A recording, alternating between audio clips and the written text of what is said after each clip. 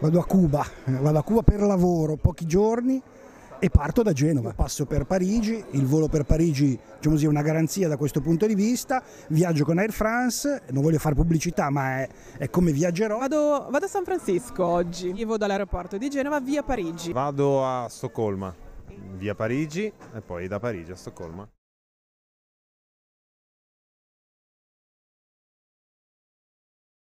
Bisognerebbe aggiungere forse qualche itinerario in più, in qualche città, qualche capitale europea in più, però tutto sommato stiamo secondo me andando nel senso giusto. Stato, vivevo all'estero, vivevo a Londra, quindi era la mia seconda casa l'aeroporto di Genova. Eh, io non sono insoddisfatto del mio aeroporto, si potrebbe fare di più come in tutte le cose, ma credo che si sia fatto in questi ultimi anni un buon lavoro.